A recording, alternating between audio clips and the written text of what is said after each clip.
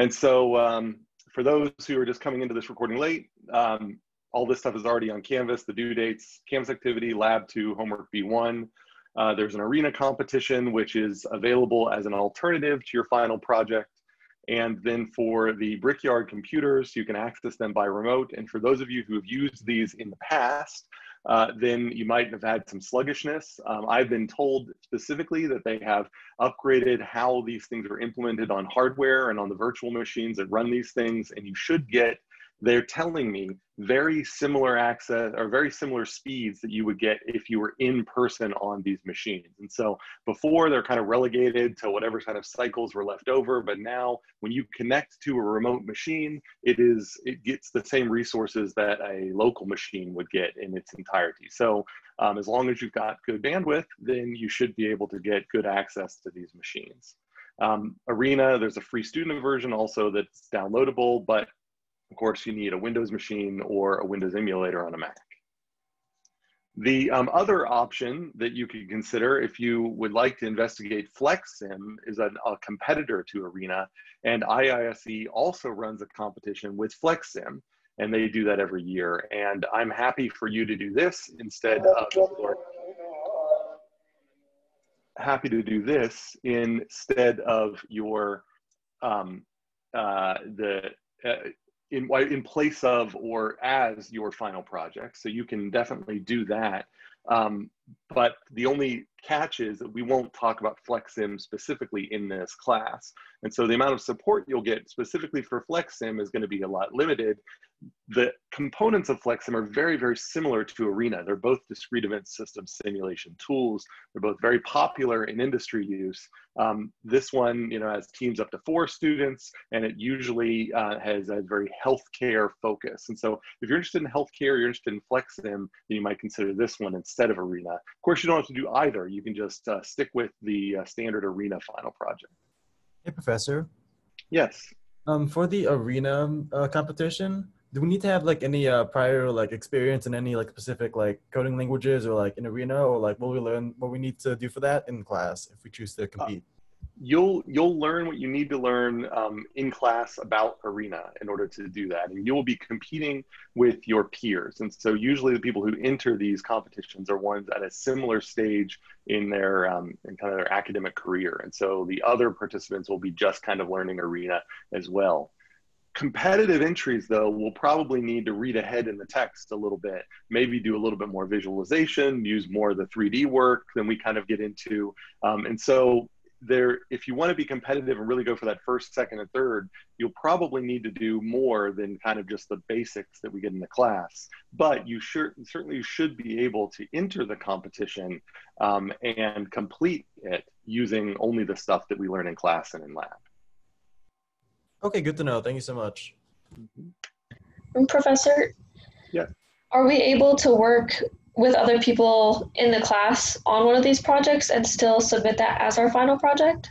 That's exactly right. So if you form a, uh, team of, so your, your final projects are already group projects. And so this can be your project group.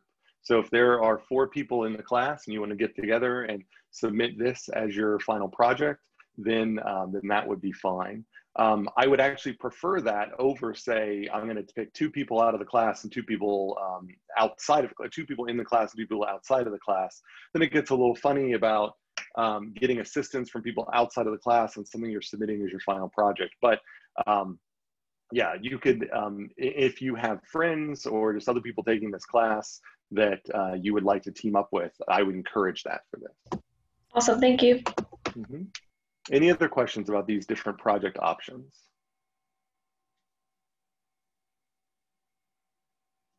Okay, great. Um, so there are several other DES simulation competitions as well. Example, Simio, is another popular alternative to FlexSim and Arena. Uh, they uh, also have an annual competition and I'm willing to consider these. So if you see one of these and you really think, man, I would I'd be interested in doing this uh, for my final project, just send me a note uh, with maybe a link to the competition and some other details or why you're interested in that. And, um, and then I would be happy to consider it. Um, Simio is actually kind of natural because the so the folks who created Arena when they then left Rockwell, they started Simio as kind of meant to be like an, an, an, an next generation Arena or something. So they're extremely similar. So um, so yeah, if you see these other competitions, so long as they're focused on discrete event system simulation, then most likely I would be okay with them. But just talk to me offline and we'll figure that out. All right, so any other questions? Okay, great. All right, well, let's get back to the technical stuff. So um, just a review from last time. The, we we're now starting to introduce discrete event system simulations.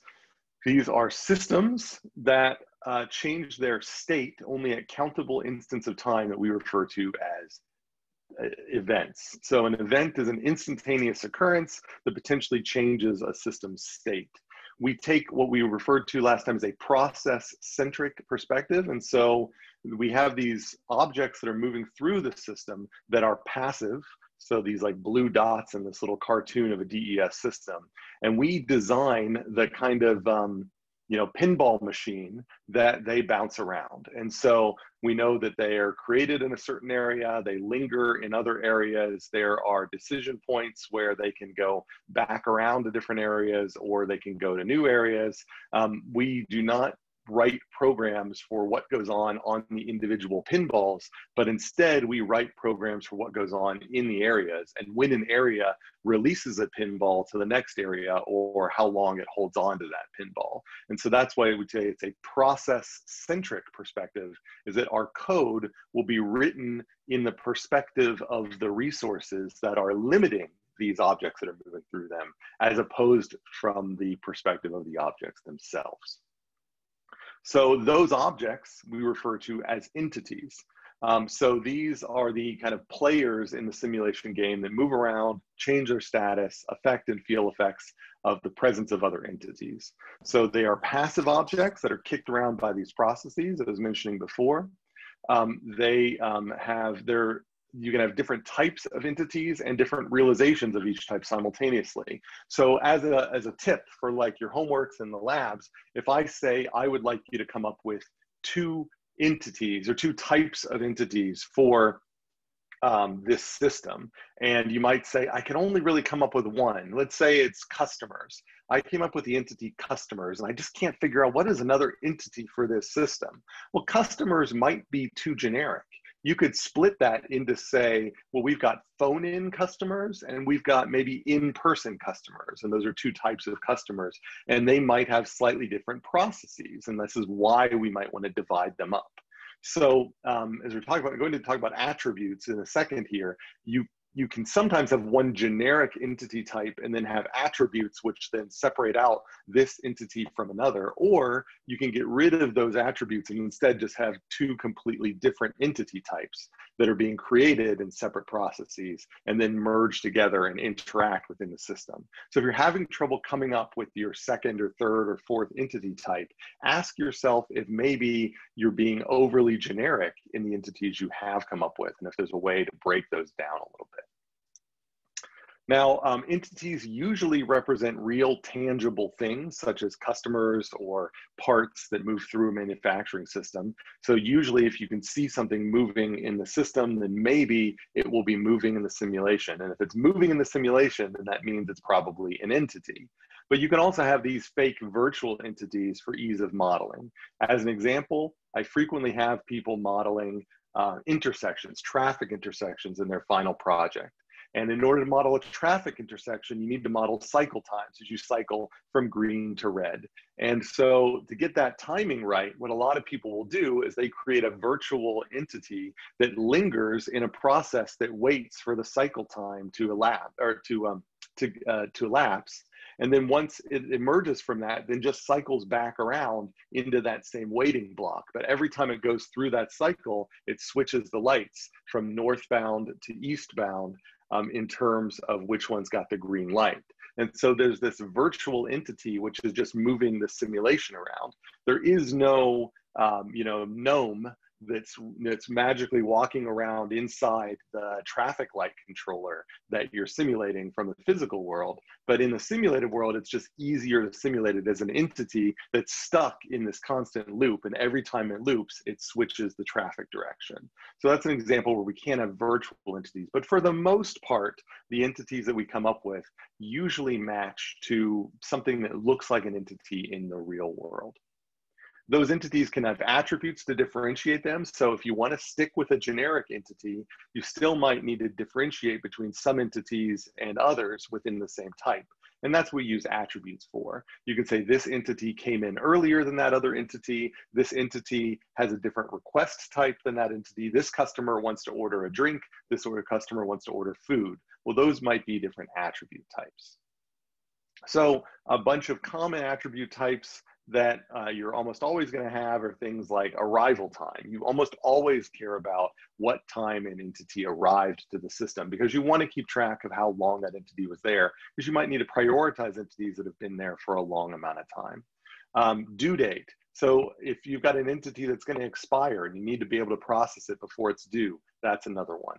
Or you just stamp priority on it. You say this, this customer paid uh, extra to be in the TSA pre-check. And so we need to make sure that whenever they get into a queue, they're put to the front of the queue. And that's, we can stamp them with a priority attribute and so on. These are variables that are local to the entity. You can treat them as state variables. So you can change them on the fly. And you can then use those changes to then change how they're processed down the line. Um, the other important thing, which I mentioned um, on the Canvas resource, is that sometimes this is, it, it's actually easiest to, to think about these things first, and those are the resources. Those are the, the parts of the process that are required to perform all of the activities on the entity. And so it's kind of like um, if you were building a car wash, then before you focus on all the different types of cars that come in, you might focus on well, what you need in order to be a car wash. Well, you know, you need that you need all of the tools that you need to wash a car, and those are the resources. And how many of those resources sort of sets up the rest of what the car wash looks like and all the other constraints and all that. So the things that entities are competing for, all there are the resources resources in the simulation model are generally going to be stuck there. You're going to draw them in a diagram and they're going to stay in that diagram for the whole simulation. Um, the entities might flow into the diagram and might flow out of the diagram, but the resources are going to be stuck on the diagram.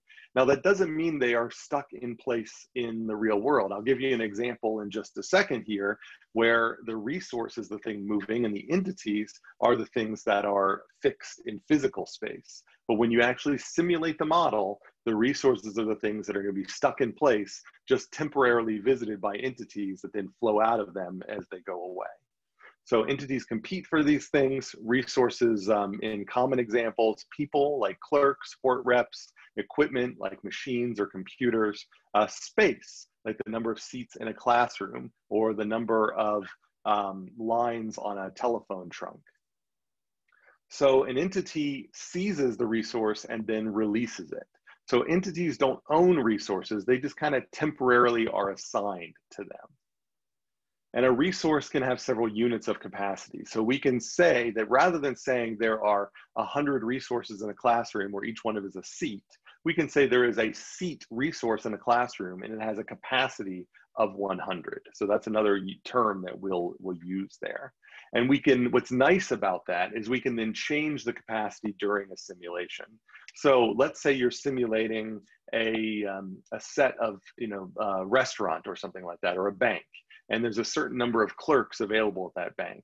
Well, different times a day, you might only have one clerk or you might have five clerks. We can generally have a clerk resource and then we can schedule the capacity so that sometimes the capacity is one and sometimes the capacity is five, and that will automatically change from one to five as needed. All right, so are there any um, questions about these three uh, major things here? Um, the uh, activities or entities, attributes, and resources. Is this starting to become clear how these things uh, differ? And again, questions can go in the chat. Uh, they can also, you can unmute. Uh, LJ, do you have a question? I see you're yeah. unmuted.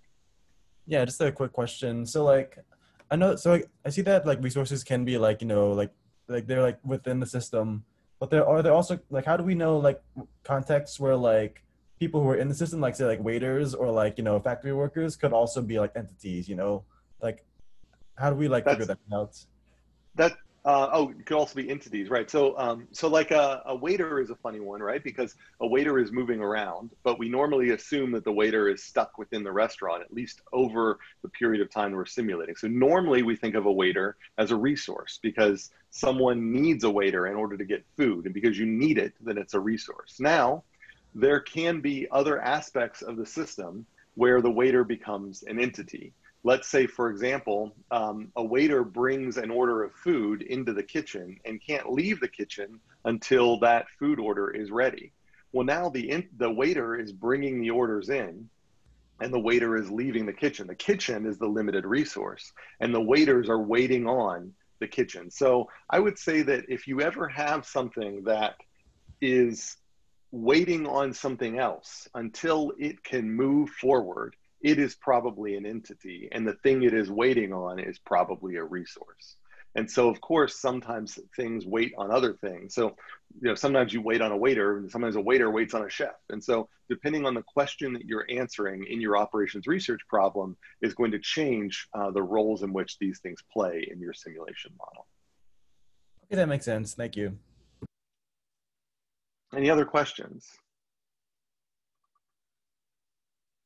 all right well here's another motivational example oh uh, cameron do you have a question Yeah, yeah, real quick. So just touching on the example you just brought up, so in the example of where a waiter becomes an entity, would the you brought up like the chefs, I guess, would be a resource because you have a limited number of them that are making and providing the food. Would the food, I guess, in that case, be considered almost like a product? I know that's not one of our labels, but would that be just the thing of focus, and your chefs are the resource, and your waiters are the entity coming in and out of your system?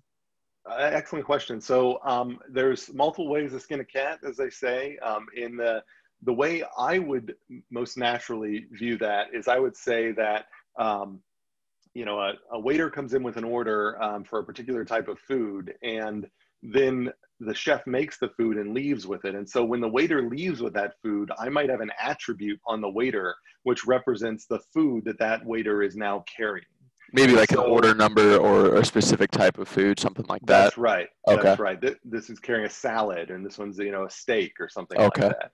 Um, now there might be times where I actually need to promote food into something that is somehow more tangible, and that might be if I think about the resources that limit what foods you can make. And so, Mhm. um, you know, it, it might be that in order for me to make a salad, I need lettuce and I need tomatoes. I need them both to be available at the same time. Well, now, um, now I'm getting into the points where maybe I really need to specifically model, um, you know, lettuce and tomatoes entering the system and being used in particular ways and exiting the system. And so there's, you might view, well, okay, well then does that make the lettuce and tomatoes the resources because they're being waited on? Well, that's a really interesting case where they can actually be entities where an entity can sit in a waiting zone waiting for another entity until there's enough of them available and then you can create a batch and then that batch moves on. So we have batching operators which almost turn entities into temporary resources because entities have to wait for enough other entities to arrive in order for you to have a, a batch which is another mm-hmm. type of entity that can move on so things can get much more complicated right now we're just kind of covering the basics but Okay. um, and you might feel like man my the problems of interest to me aren't quite being represented here quite yet and that's fine because we will get more complex and we just want to sort of get an approximation of the tools we currently have available and then we'll add to them as we go to better suit more realistic systems Okay, that makes sense. Thank you. sure any other questions excellent questions. Thank you for that that interaction. Oh i'm sorry uh, jessica i missed your chat question. So wondering similar to the one of how does the food fit in and would it be the resource to the chef? Um, yeah so hopefully that that that helped that that question there. Um, foods we normally even though we view food as a resource like um, you know it's almost like a natural resource you have to find enough of it and bring it in. In a discrete event system usually a resource is not something that is permanently consumed. A resource is something that is temporarily used, and while being used, it cannot be used by any others, and then it's renewable. So it's almost like um, resources in the system are a renewable resource that is um, that that is, I guess, are rivalrous in that um, when one uh, when when one entity uses them, another entity can't. But when another entity gets uh, lets go of it, it suddenly becomes available. So we have to be careful about food, thinking about food as a resource, because it's rare that food is one of those types of things that is suddenly renewed. But a cleaver that you need to cut something, well, that's a resource because only one person can use it at a time. When they're done, they put it away. Now, it might need to be cleaned in order to be used again. So then we'd say, well, then a sink is a resource that cleans the cleaver, you know. So you can see these things kind of go down downhill from there. Excellent, good. All right, so here's an example from my own research. Um, this is kind of trivialized, but um, so in, okay, I see um, a question here. So input materials to a process equals entity. Um, it, it all depends on how you, I mean, the best choice for this is gonna depend on your research question. So it often is the case that if you need to wait on a certain number of materials that are arriving before you can move on, then the, the materials that arrive are themselves entities.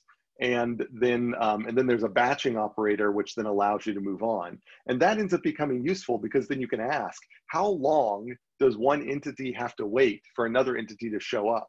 Like I might have uh, parts of my food spoil because I'm waiting so long for another part of them. And that might mean that I need to order um, the other, that I need the other thing to become available more quickly. So it's very common for these kind of spoilable resources to be viewed as entities.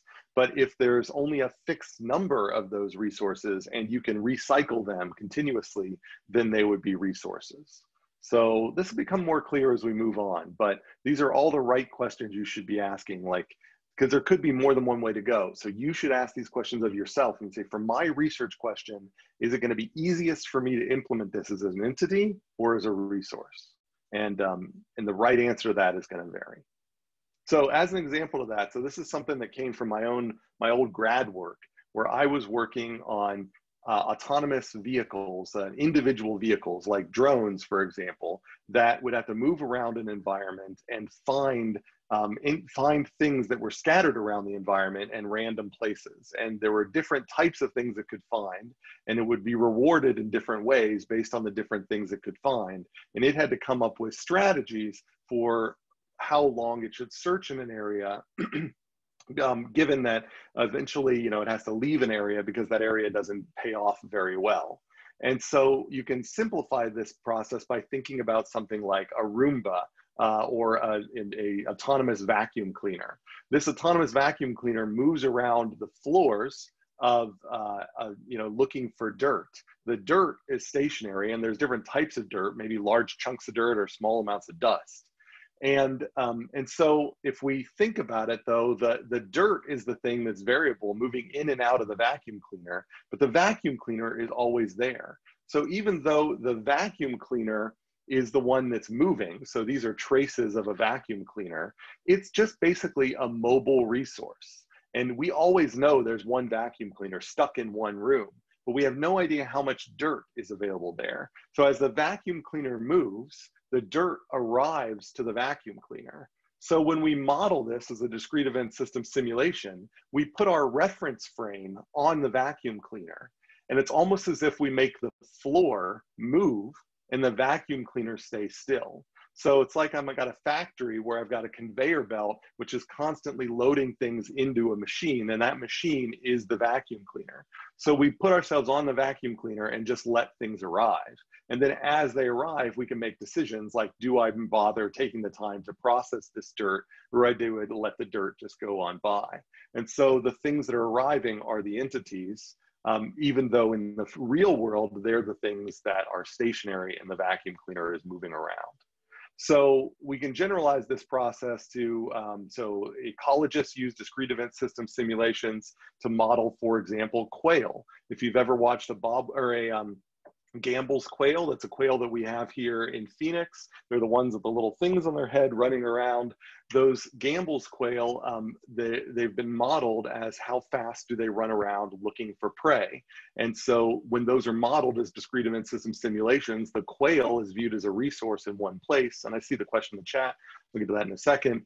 And the um, prey items are viewed as arriving at the predator. So that's a little weird. You know, in the real world, a prey item wouldn't run up to a predator. The predator would have to go find the prey item. But it is easier to model as if the prey items just bump into this ambush predator that's where the predator is always sitting in one place. And then you can generalize this to undersea uh, water vehicles, um, you know, looking for mines, for example, uh, autonomous vehicles and military applications, and even flexible manufacturing systems where you might have the machines that are assembling things are moving around, but we might model them um, as if the stationary parts that they're bumping into are actually moving and finding the machines. So I just, just trying to emphasize that movement in the simulation model does not need to correspond to movement in the physical system. We make choices that make for the most efficient and elegant simulation model. And sometimes that mapping might mean uh, switching something that's stationary to something that's moving and vice versa. And then, so I see a question here. You, um, so you say that the dirt is an entity and the vacuum is a resource. Yes, that's what I'm saying here is that in the vacuum cleaner example, it is going to be easier to model the vacuum cleaner as a fixed resource and the dirt as entities arriving to the vacuum cleaner. That way we don't have to worry about like how the vacuum cleaner moves around. In our model, we just have a single vacuum cleaner block and then we have a stochastic model of how the entities arrive to that block. And that stochastic model, and I'll talk about stochastics here in a second, is um, going to capture all of the important movement details. So we're moving the movement details from the vacuum cleaner into the dirt to actually simplify the program that we write to simulate the system. Okay. So are there any questions about those examples?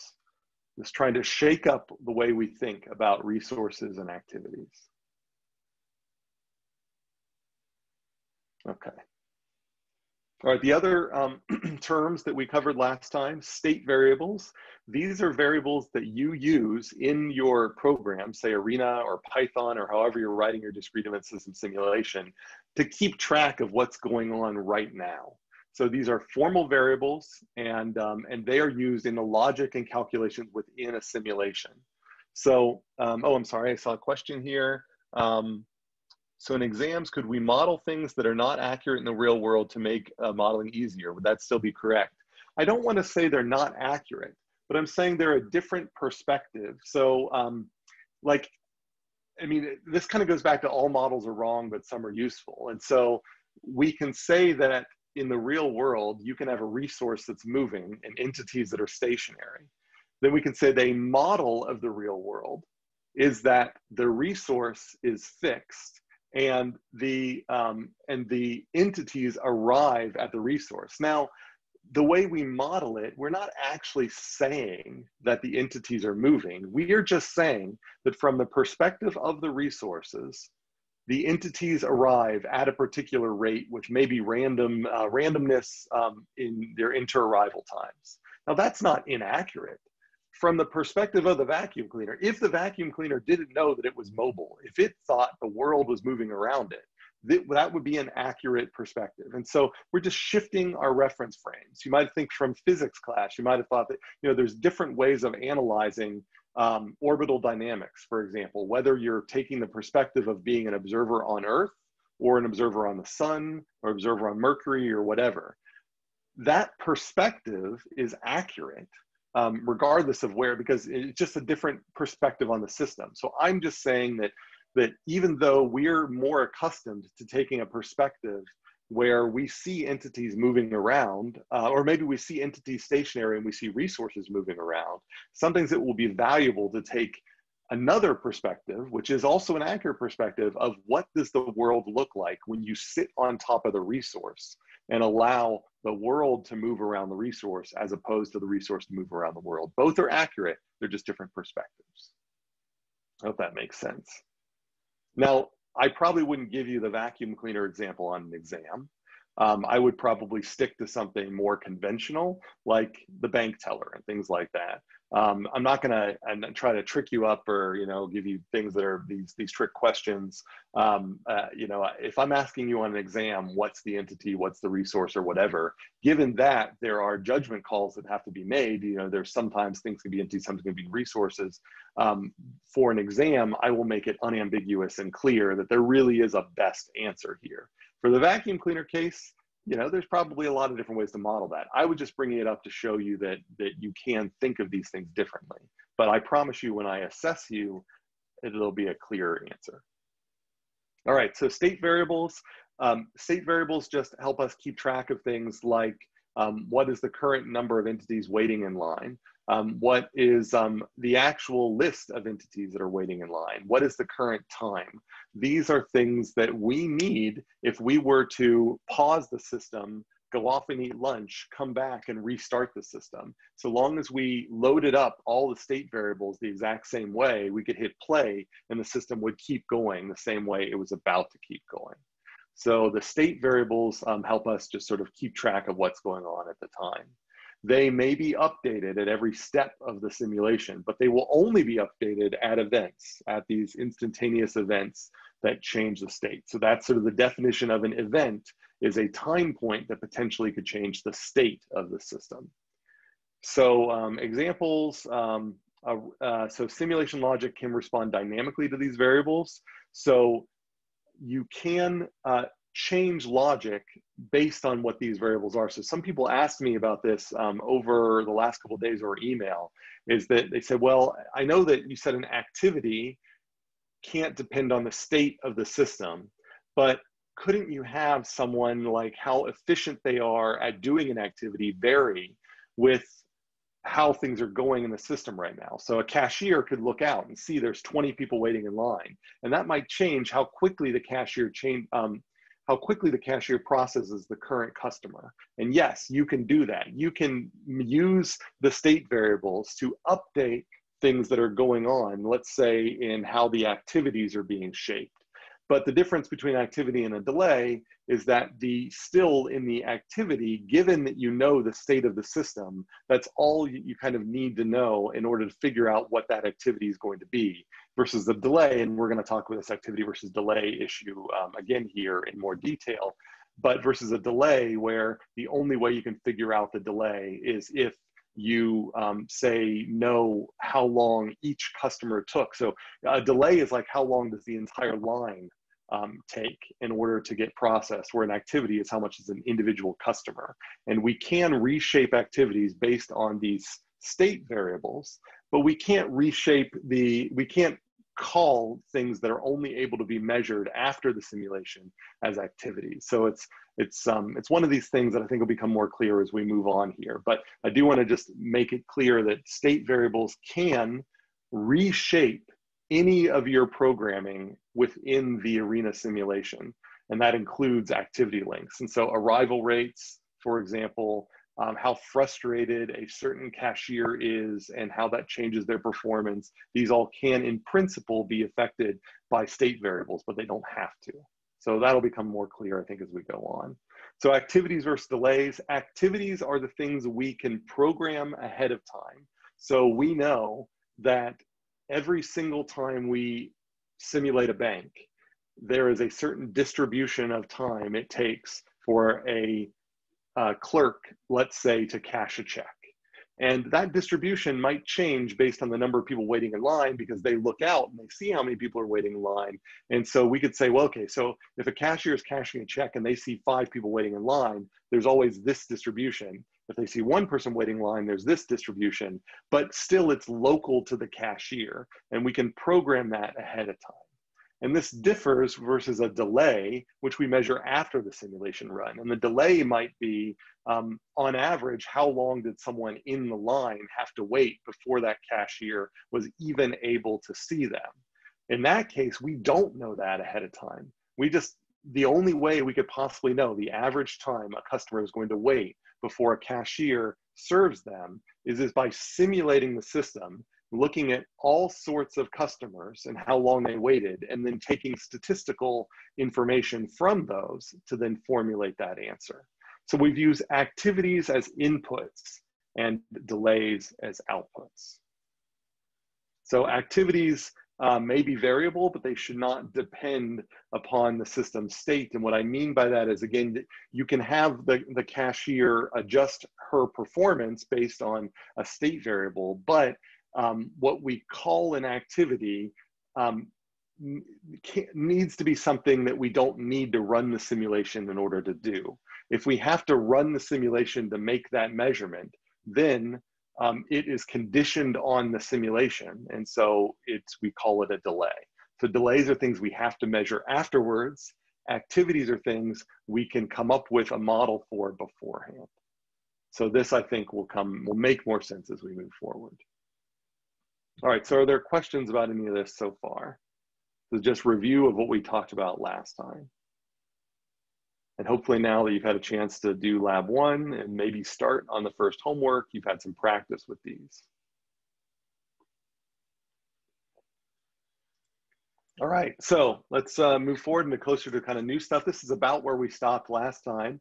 Um, mentioned that in a discrete event system simulation, timing is key. We are building models for how the timing of these systems plays out. And in an airport situation here, we've got people arrive, they have different numbers of people in their party. Um, they arrive at different times. So in an hour, you can have five parties arriving, but they all arrive with different intervals in between them. And so whereas a, a deterministic approach might assume that you just get five arrivals per hour. And so there's going to be, um, you know, uh, so there's going to be 60 minutes divided by five um, in between each all of them. And so they all will have exactly the same amount in between. But that's not very realistic. Another deterministic approach would be to try to come up with all of the historical information of every party. So how many kids they have, um, how many adults, um, what is the personality of each of the adults, um, what the traffic was, where they live. You can have all of those details and try to use that to come up with when they'll arrive at the airport. But that's an impossible task. You're sort of trying to build in all of the complexity of the real world into an extremely long equation. And that equation is probably not going to be defensible. Somebody is going to be able to attack your equation and say you probably got something wrong. So what we want to do is come up with a way to capture realistic variation that is not so complex. And what we do is roll dice. We basically replace variation in the real world, which might be deterministic variation. There are real causal reasons why some people arrive sooner than others. And we're just going to replace that with die rolls because if we roll a die and say when a number comes up six, you're a certain uh, inter-arrival time. When it comes up two, you're another inter-arrival time, um, and so on and so forth. The variation we get out out of the die rolls is going to be very similar if we design things right to variation we're going to see in reality. So this is what we call a stochastic approach. Some people think stochastic is a synonym for random. It is not. Stochastic comes from the Greek for conjecture or guess. Stochastic modeling is taking a guess that the system that you're modeling behaves randomly, even if it doesn't. So for the purposes of simplifying the simulation or simplifying the model, we assume that the system is random, even though we have a pretty good idea that it is not. There are probably not quantum mechanical effects, you know, causing um, people to arrive with variable inter-arrival times to an airport. So there's probably not a fundamentally random reason why people arrive with variation at an airport. We don't care it's easier for us to model, assuming it's random. Then all we have to do is figure out the right randomness to best represent reality. And so, um, and it just turns out that coming up with a couple of parameters on a random distribution is a lot easier than coming up with some long deterministic formula that tries to represent what is actually going on in a deterministic world. So input modeling is the term that we use to represent this process of choosing random distributions to best match real world data, even if the real world data isn't fundamentally random. the variation in real world data can be modeled by random distributions. That's stochastic modeling, and that's what we do in this class. Does that make sense? Are there questions about that? About the difference between random, which is, you know, it's actually describing things that are, you know, that are random versus stochastic. Stochastic means using randomness in a model, even if the fundamental system you're modeling is not random. So stochastic operations research, similarly, you're using random models because it is easier to model the world as a random process than it is to try to model all of the nooks and crannies and deterministic details of the world. So the advantages of this approach, it's going to simplify um, our implementation of variation because you know you have a normal distribution. I know mean and variance, two parameters, done. And but I can ask a computer, give me a normally distributed random variable or random variate, and it will give me numbers that fall along that bell curve. So I just get natural variation. So long as I can manage to choose the average and variance intelligently, then I get variation that fits my system well. So the challenge is, of course, coming up with um, uh, coming up with those parameters, and then the fact that our system that we're simulating here now is going to have variable output itself. And so our challenge is going to be able to deal with the variation coming out of our simulation model. And so that is going to mean that whereas maybe in a deterministic model, we run it once and it gives us one answer, in our simulation models that are stochastic, we run them 10 times and they give us 10 different answers. So now our simulation model is going to require us to use statistical methods to make sense of those outputs. So advantage, we simplify the programming disadvantage, we now have to use statistical approaches to understand what comes out of our simulation models. And we probably can't just run one simulation anymore or simulate one customer. We might need to simulate 100 customers or run 100 simulations or run 100 simulations of 100 customers. And after the midterm, then that's when we start determining um, exactly how to figure out how many customers and how many runs in order to answer the particular questions that we're trying to answer. So just as a summary of that, um, we have activities which are the statistical distributions that go into our process models. Those are our inputs. We use input modeling in order to come up with those distributions. So we know the distributions of how long individual components of the model take. We combine all those things together into this process diagram, this, uh, this logic, this discrete event system logic. And then that gives us variable outputs. So we can measure things like waiting time of each customer, things like that. How long does it take for us to process 10 customers, et cetera? And those outputs generally are going to be things like delays, queue length statistics, et cetera. These are things that we only know if we run the simulation and then measure it. So we get the, but this output variation fundamentally comes from the input variation we bake into it. So we choose random distributions, we pepper them all around a system, we simulate what happens when all those random di distributions bump into each other, and we get new random distributions on the outputs of our simulation. And then we have to sample those in intelligent ways to make sense of our simulated system to then make inferences about the real world system that we used when we were originally creating these input models. So that's the basic process of what we do in stochastic simulation. And we have to be careful because when we choose those input models, we can choose bad input models. So if I am choosing a statistical distribution for how long we wait between customers, uh, if I were to choose, let's say one where we wait, you know, 10 seconds between every customer's arrival all the time, I can run that into my simulation and I can get beautiful simulation results. And those simulation results I can show to my stakeholder and convince them that the system that I've built must be terrific.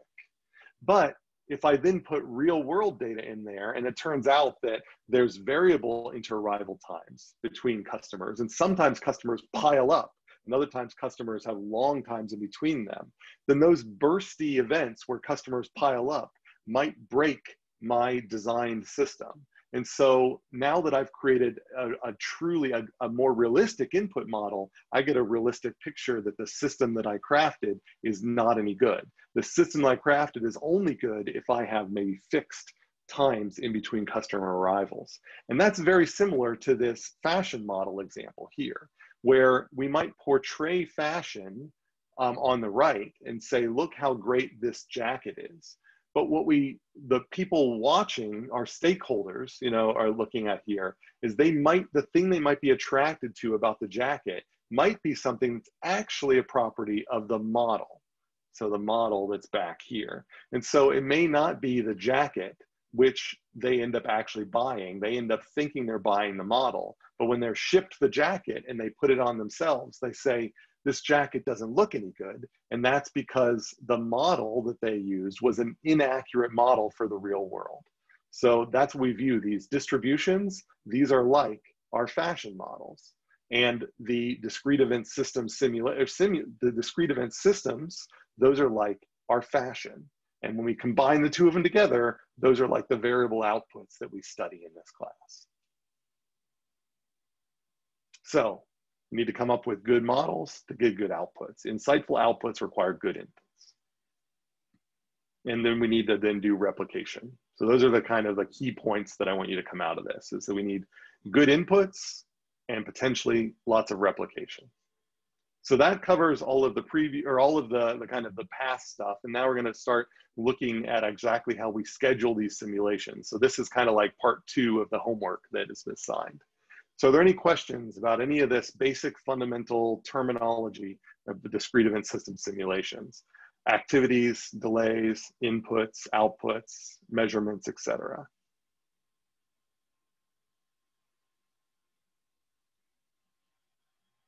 Okay.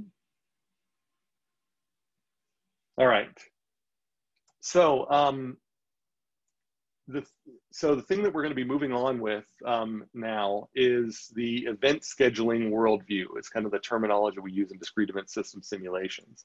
So events are the times where the state of the system changes. So as we've talked about um, already, and so we only care about the system when the system state changes. And so we don't care about anything in between.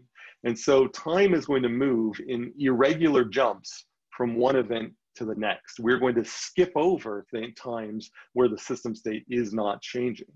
And so there is going to be a calendar of events that is maintained by the system software where it constantly is scheduling the next event that is going to happen into the calendar and then moving through the calendar set of events. So in the second problem of the homework, and then what you're going to start doing in lab two is that you are going to manually maintain this so-called event calendar as if you are the simulation software. When we start getting into Arena, Arena maintains the event calendar for you. So this is what we're trying to understand is what's going on behind the scenes of these simulations. So at each event, we're going to get a simulation clock that moves to that event. There's going to be some logic based on the state of the system right now, how many uh, how many uh, um, entities are in resources, how many entities are waiting for resources, et cetera. And so based on those things, we figure out whether we need to move an entity into a resource, whether we need to um, remove an entity from the system, et cetera. And then after we do that, we need to then schedule where the next events are going to happen. So if we've just moved an entity into a resource, we need to schedule when that entity is going to leave that resource and add it to the event calendar and then recycle so that then we move to the next thing in the event calendar. And that's what we're going on uh, here. So the event calendar is um, also known as an event list or a future event list or a schedule both textbooks will use um, these terms differently and interchangeably. So sometimes you see them uh, in the event calendar, sometimes you see future event list. So um, you should be familiar with these different terms. Um, computer scientists refer to the data structure that stores these as a priority queue.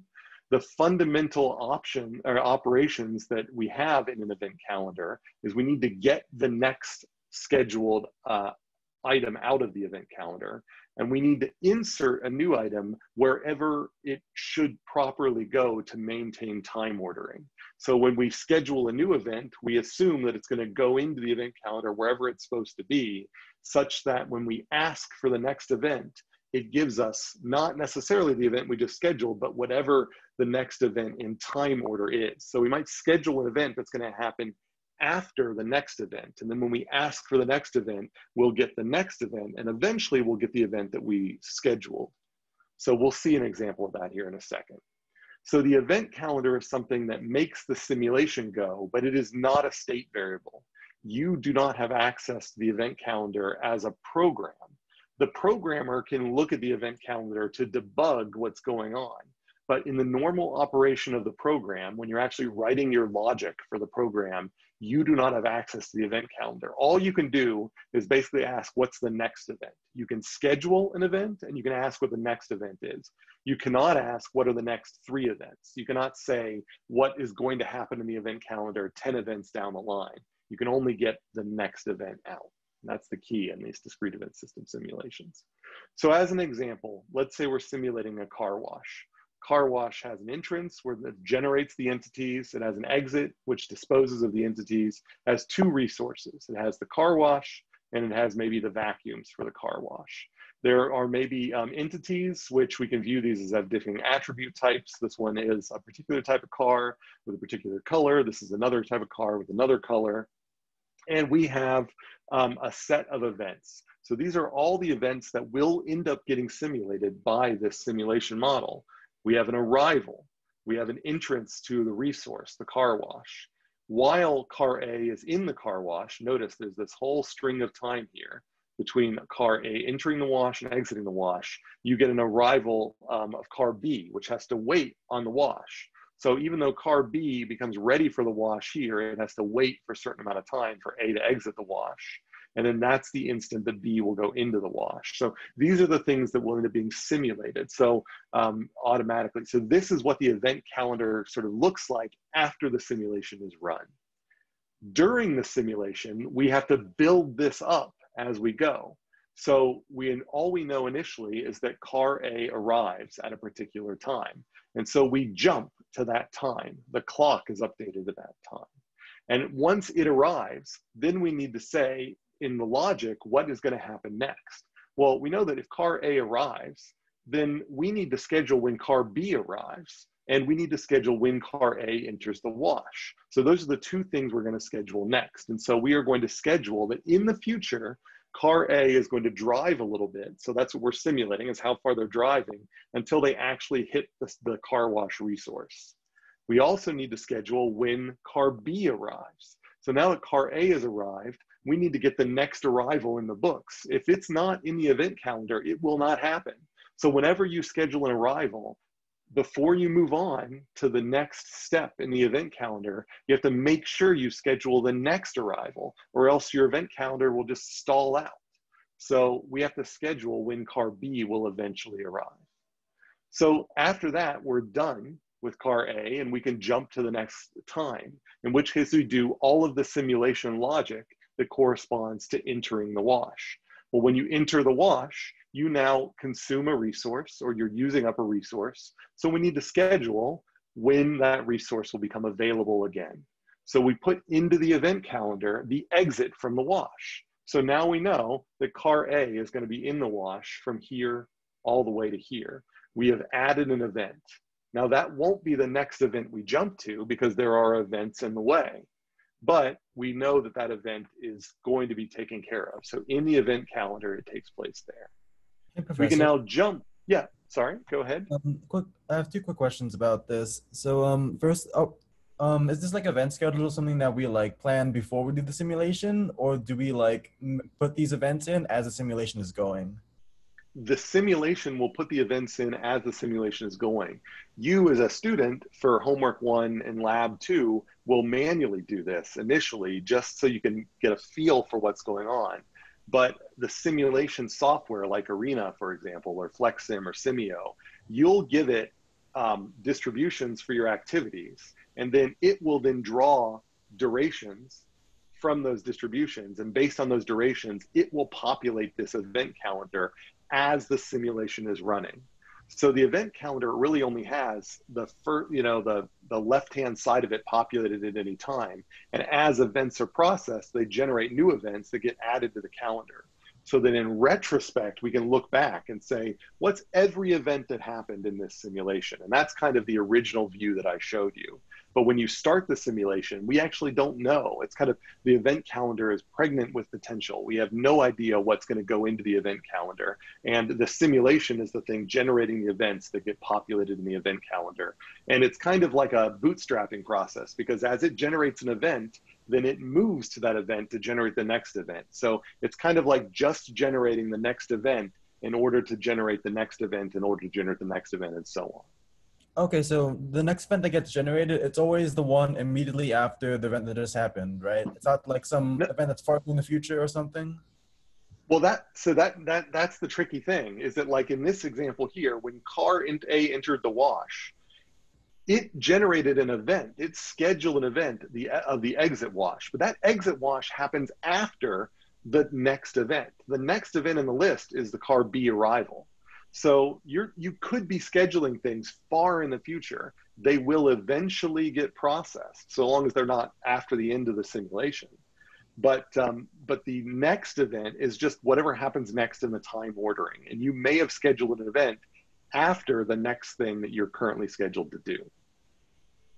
It is possible that you could have scheduled it. It might be that this is a quick car wash, and it might have been that we scheduled the car wash here. If you can see my mouse and so um, that, um, that, that event could be the next imminent event, but, um, but it may be that the activity duration of the car wash is so long that you have to schedule the end of the car wash that is after an event that you've already scheduled. So you don't, it, you will eventually get to it, but the next event that you'll jump to might not be the event you just scheduled.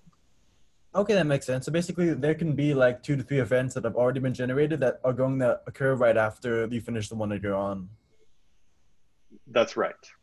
That's right. Okay, thank you. And and another question was sent to me: Is the next event also the uh, called imminent event? And I would say that the um, that the the imminent event, I mean, so I guess that terminology is something that um, I don't use formally. Maybe another textbook uses that formally. Maybe your own textbook uses it, and I just forgot that they use that. But I would say the imminent event is the event that you're just coming up on as you jump to a new event. It's the current event that you're processing. That's the way I would define that. I'm not going to use that term uh, formally in the class, but that would be my guess is if you've seen that term before, that's what they're referring to. So we would jump to what I, I, would call the imminent event, car B arrival. Even though we just scheduled car A's exit, we have to process car B's arrival because it's the next thing in the list. So then at car B's arrival, we know that whenever a car arrives, we have to schedule the time it takes for it to get to the car wash. So that's, I schedule the time it takes to get to the car wash. But I also know that in order for me to keep the simulation going, I need to schedule the next arrival. I need to schedule car C's arrival. And so I'm scheduling when car B hits the wash, hits the beginning of the wash. And I'm also scheduling when car C arrives. Now that could be very, very late. That could actually be after the end of the simulation. So I might not actually get to that event when this simulation ends. So, um, so that, but I'm putting it there that that has to be scheduled. So at every arrival, you have to schedule what happens at arrivals and the next arrival. That's kind of a thing. In any queuing system, every arrival, you at a minimum schedule the next arrival, and you also schedule system specific things like the drive to the car wash. Then I can keep going in this process. I jump to the next event. So now um, I have jumped to car B is ready for wash. It's sitting there at the car wash, but the car wash is in use. So the car wash is currently being used by car A. Car A has not um, exited the wash. I know that because internally there is a state variable which represents the car wash being busy. I can ask car wash variable, are you busy? And I will have already updated that. When car A was put into the wash, I will have updated a state variable that says car wash is busy. And so when car B arrives, I, my logic asks, is the car wash busy? When it comes up, yes, the car wash is busy, then the simulation logic, instead of putting car B into the wash, it puts car B into another state variable, which I'll call a queue. And it's just a list of cars waiting for the car wash. The queue was empty, and then now it has car B sitting inside it. And it's just gonna sit there. I do not know at this instant, at the imminent event, at the instant of this event, I do not know how long car B will sit there. I have to just let the simulation roll. Now, as an observer looking at the event calendar, I can guess that it will be available when car A exits the wash.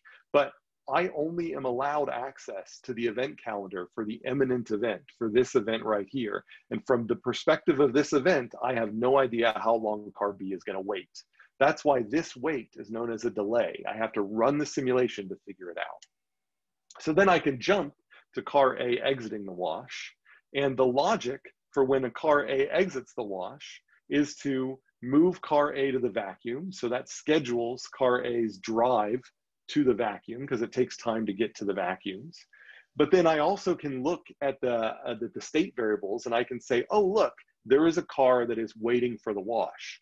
I can move car B into the wash. So that means I can empty the queuing state variable and I can schedule the exit of car B's wash. And so then I schedule now, I've got car B is in the wash for this whole time.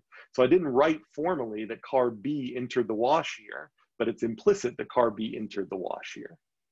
So then I can jump to car A, uh, entering the vacuum. Um, I can schedule the end of the vacuum and so on. And so I can keep going that.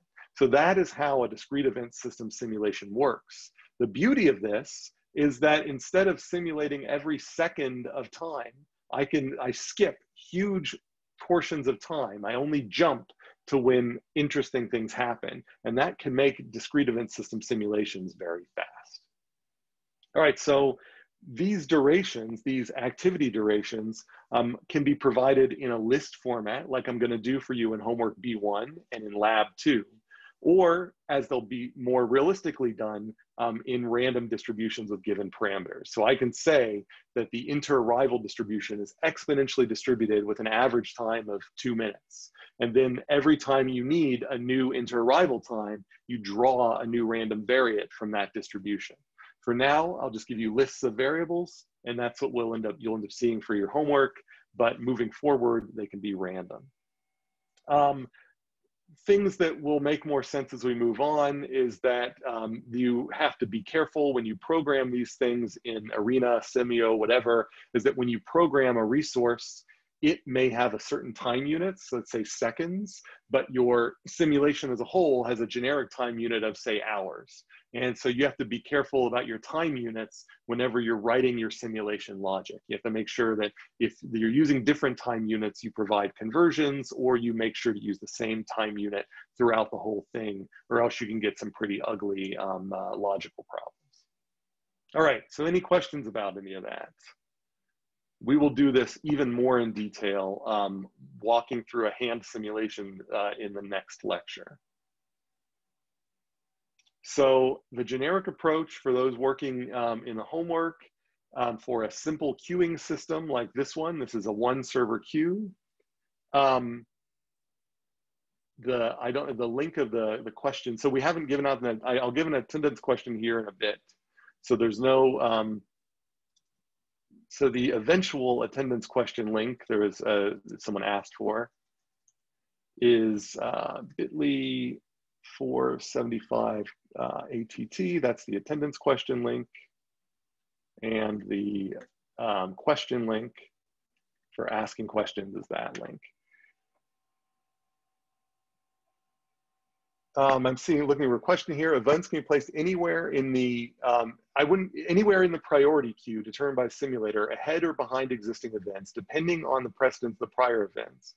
These events have a property like a timestamp. So you're basically saying we may primarily look at this like a log file to see um, why something is, yes. So there's a question of how you as a programmer can afterward look at your simulation calendar as to debug it, to look as a log file to say, does it make sense? And you might see that things are being scheduled in way in a different area than you're expecting them to be scheduled. And that might point out to you that you're using the wrong time units in one of your components. So that is how you as a programmer would look at the simulation calendar. From the perspective of the program, the event calendar um, is, is just used to get the next event and to schedule events into it um, and keep them ordered so that you only process the next event. So you might schedule something way in the future. So the event calendar ensures it won't come up until it absolutely needs to come up after you've processed everything that happened before it that might already be scheduled. All right, so um, we're not going to get through, I think, um, all of these simulation steps here, but that's okay because we'll go over this at the beginning of the next lecture. But, um, uh, but just for those who are looking forward, these next couple of slides are a recipe for how to simulate an MM1 or a, a single server queue that um, like the one that you're simulated in your homework. So it says sort of what you're gonna do initially, what you do on arrival events, what you do on departure events, what you do on end events. And again, we'll go over this at the start of next lecture, but you can follow through these steps and it'll basically follow through going through the event calendar like we did in that graphical example. And then, um, so again, in the next lecture, we'll actually do a hand simulation where we will apply all these steps exactly like you do in the second question of the homework. So um, I'm going to skip the questions thing here. I'll hold them to the end of the class. Only other thing I might mention here is that after the simulation, there are other metrics that you'll run like average waiting time, um, utilization, etc. These are things where when you look at the 100 customers that you simulated, you'll aggregate over those customers to come up with these averages. And those are um, different than state variables, even though they might require you to keep track of things in a state variable like format during the simulation. Like you might need to keep adding up um, you know, how long did that customer wait? Add that to an accumulator, which kept track of how long all the other customers waited and so on and so forth, so that at the end of the simulation, you can divide by the total number of customers to get the average waiting time. So there are other variables that you might maintain in your simulation, which are not state variables. They're auxiliary variables that help you calculate these performance metrics afterwards. And that again will become more clear as we move on. All right, so I won't go through this example, but um, this is just motivating this idea that your um, simulations are going to have variable outputs and they are going to require um, variable, um, they're going to require statistics to deal with that variance. You can't just run it once and then run another simulation and compare them. You're going to have to run 10 of one simulation and 10 of another simulation and use a t-test to compare them as an example. All right, so let me get to the attendance and then I can take any questions and anybody can pop off if they want. So the attendance question uh, for today is, um, we'll say, is the, I said that the, um, what is the priority queue that is, what is the priority queue called? Give me a name for the priority queue that keeps track of all of the events that are scheduled as you run a discrete event system simulation. So go to that first link, this link that's shown here on the slide, bit.ly 475ATT, and tell me, give me a name. I listed like four of them. Give me one of those names for the priority queue that is used inside the discrete event system simulation to keep track of the events that are scheduled.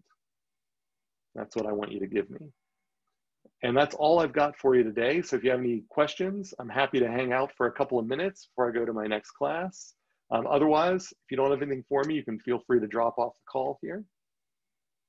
So are there any questions? And I can put that question into um, what is one name out of the four I gave for the priority queue that keeps track of events during the simulation. And that's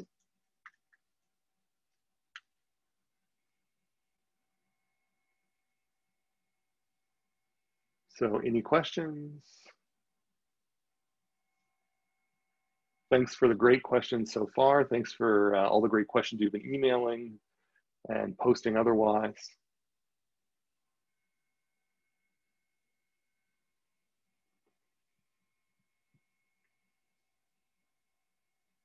All right, it looks like um, gradually people are popping off and no questions are accumulating.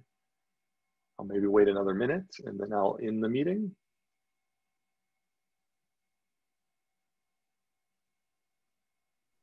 Hi, Professor. Yep. Um, yeah, so I'm just still kind of trying to understand like uh, how the event calendar works. So there's certain things that we tell the simulation, uh, like what events need to happen, and then uh, the distribution of it, and then the simulation makes the event calendar, and then kind of tells us what's going to happen. But we we need to run the simulation to know like all the events that are going to happen. Correct? That's right. That's right. And so you will um, tell the simulation that a cashier, um, the cashier's processing time is a normal distribution with this mean and this variance, and um, entities arrive at a cashier before arriving at a bagger or something like that. And the bagger's got their own distribution. And then what the simulation will do is it'll say, okay, I'm going to, um, uh, the first arrival to the cashier, I am going to draw from that distribution and schedule their departure. And, um, and then when they depart, I'm going to draw from the bagger distribution and schedule their departure from the store. And so the simulation will use the distributions you've given it to maintain its own event calendar. Okay, and it takes into consideration the activities and the delays, like both of them combined, and there's just like a list of all of that together. Well, that's the the beauty of it. So the the it takes the activities come ahead of time. It takes into account those, and then we figure out the delays by looking at how things ran. So the event calendar after the simulation is actually um, you can pick out the delays out of the event calendar after the simulation. So it doesn't know about the delays, but um, but just due to how the activities line up, like in the, that car wash example, um, car B was ready to enter the car wash, but it couldn't because car A's wash activity hadn't ended yet. And so in the event calendar, we can see that car B is ready for the wash, but doesn't enter the wash until a little second, a little bit later. That little bit later is a delay that delay came from stacking the activities up and just seeing how things mismatched. So delays are kind of generated by mismatches in activities. And our job as operations researchers or industrial engineers is to restructure systems to minimize that mismatch so we minimize the amount of delay generated. Okay, uh, and like the event calendar will just be a list of things like uh, car one, five minutes, uh, card two, a little bit more than that, and it's just like a list of how long, like starting from time zero, each event occurred. Uh, yeah, the I mean, what's on the event calendar or the future event list is is it, it usually it's definitely going to be a time.